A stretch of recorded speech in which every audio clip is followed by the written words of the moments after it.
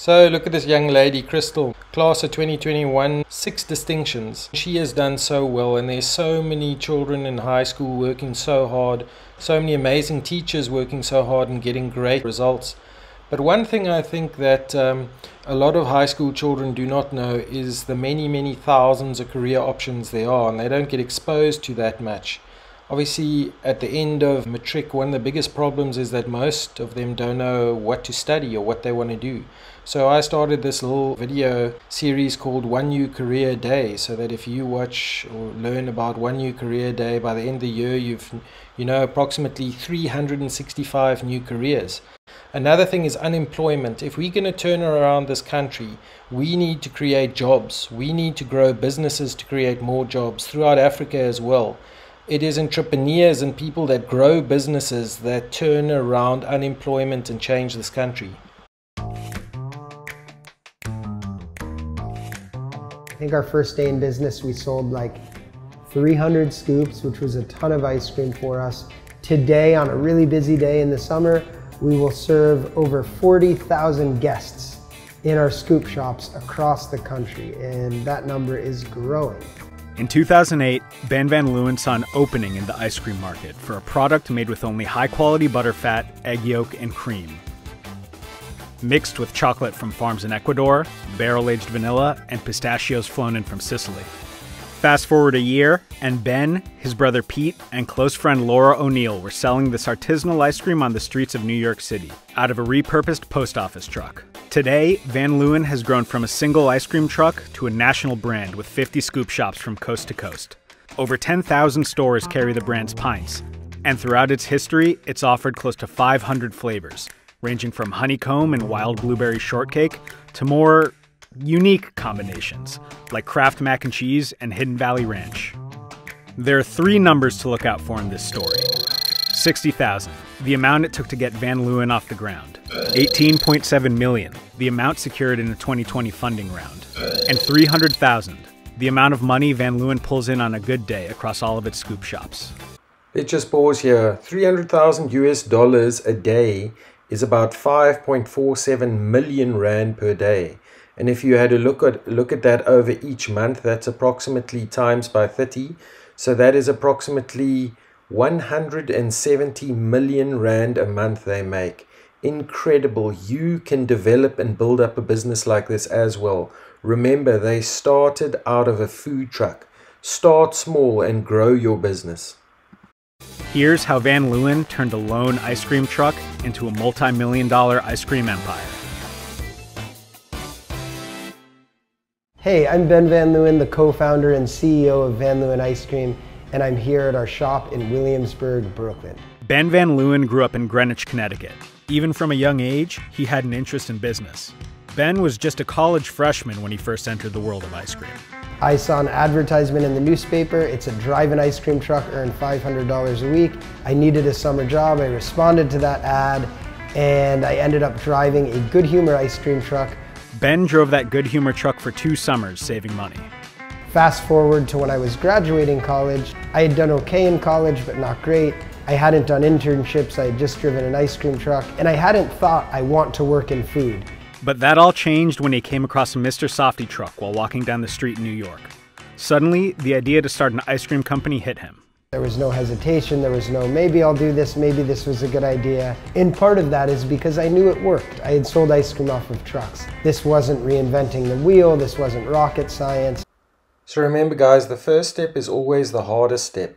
If you take that first step and just go, things become a lot easier and obviously you learn and things become even more easier and more smooth.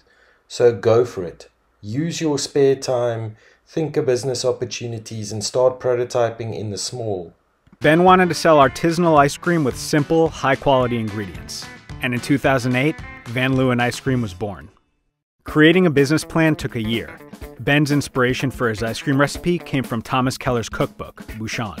It was a creme anglaise vanilla ice cream and what was unique about it is it had a lot of eggs, it had a lot of cream, um, of course whole vanilla beans. This base carried over into Van Leeuwen's recipe. The Greenpoint apartment that Ben, Laura, and Pete shared became the tasting lab where Van Leeuwen's first flavors were developed. I think there were 35 versions of chocolate that I really liked. Single origin from here, single farm from here, blends from here, more couverture, more cocoa powder, less fat, more fat, a little less sugar. After the flavors were finalized, it was time to get down to business. We determined that we would need $250,000 to start Van Leeuwen Ice Cream.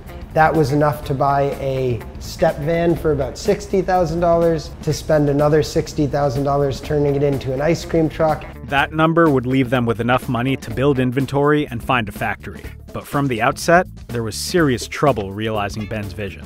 It was really hard for us to get the money. Um, we had no business experience. I thought it was a great idea. I thought I was a good pitch guy. I guess I wasn't that good. We didn't raise $250,000. We didn't even raise close to that. We were able to scrap together $60,000. But the trio were determined to make the $60,000 work. So don't take failures negatively. Look at these two guys. The one guy is weighed down by the failures. The other guy sees failures as like steps in a ladder that gets him higher. Don't be negative about failures. You need the lessons to grow. Failures are part of teaching you what works and what doesn't work, and be positive about them. So, how do you start an ice cream company with $60,000? That's not even enough to buy an ice cream making machine or the two machines you need to make ice cream. For the first two years, we outsourced all of our production. So step one of starting an ice cream company was finding what we call a co-packer, a co-manufacturer, a factory to make our ice cream. So we found a small factory in upstate New York. We went up there for every production run, hand grinding heirloom nutmeg, Ceylon cinnamon into big brewing bags. Step two for us was buying the truck on eBay, retrofitting that into an ice cream truck. And then marketing in those days was 100% bringing our truck, parking it on the street, and selling ice cream. So the corner of Greene and Prince in Soho, we pull up this old ice cream truck. By the time we've opened the window, there's 15 people in line. So at that moment we knew, okay, we're on to something here. Van Leeuwen launched with 10 flavors, including classics like chocolate and vanilla, as well as more unique flavors like gianduja and ginger. At the time, each scoop cost $3.95. On the first day of business, Laura, Ben, and Pete sold over 300 scoops of ice cream and brought in about $2,000. That same day, they were approached by a representative from Whole Foods. And they said, Do you do wholesale? We said we'll do anything that brings in revenue. So yes, we do wholesale. And three months later, we were on the shelves in Whole Foods. By the end of that first summer, they were operating three trucks in New York City. We needed the revenue. We had to work hard. Their hard work paid off.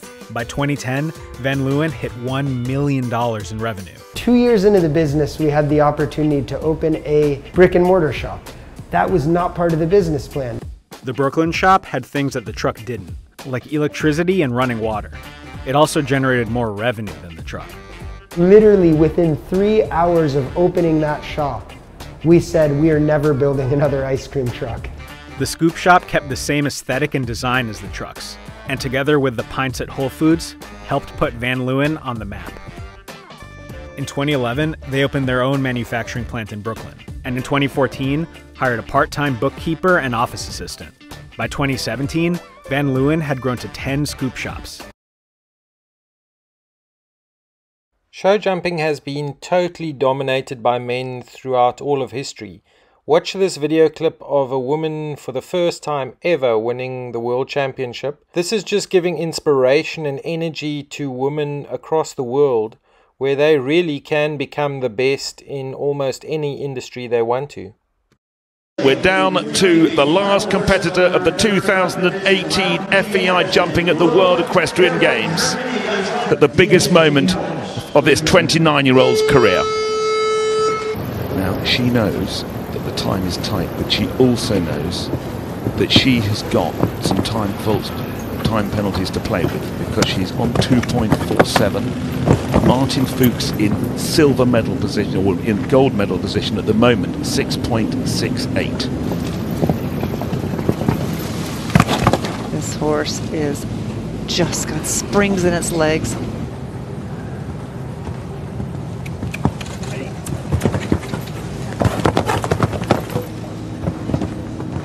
You could hear a pin drop in here.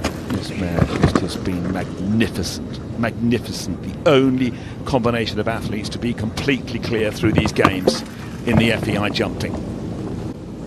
Two to go. One to go.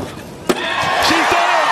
She's done it for Germany! Simone Blum takes gold here in Tryon, the 2018 individual gold medals. Look at this uh, 1% luck, 1% talent, 98% never give up is a 100% success formula. Watch this girl who's a stunt girl. Um, and obviously, you can do this for movies and adverts. Uh, you can become almost anything you want to be for a career one day. 3, 2, 1. I love to fly so much. It's so natural to me. My name is Roberta Mancino. I'm Italian and I'm a skydiver and a stunt woman. I have been working a lot for commercials and stunt jobs for Marvel. There is lots of stunt works that we do in this drop zone for Hollywood movies, stunt jobs, for just any other training that you can do. So now she goes into a wind tunnel to train for her uh, trick she does as a stunt woman. Here we can adjust the speed, so we can fly lower speed, higher speed.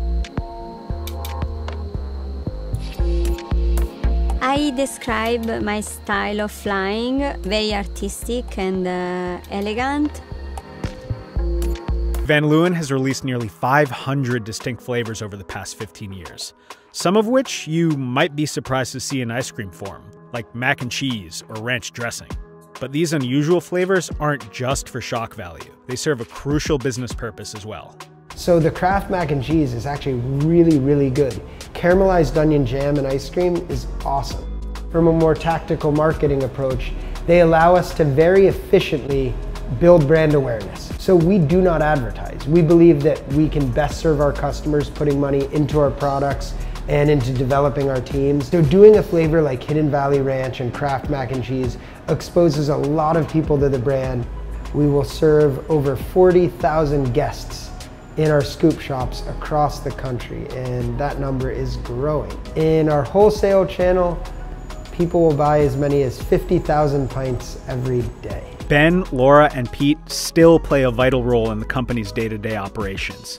Here in their Greenpoint office, the team samples new flavors, reviews new store designs. In 2024, they'll open 25 to 30 new scoop shops. I think as, as long as we are happy, as long as we're able to run a company where our team is happy and that provides people jobs that are good, and as long as we're of course able to keep our guests happy, we will continue to grow Van.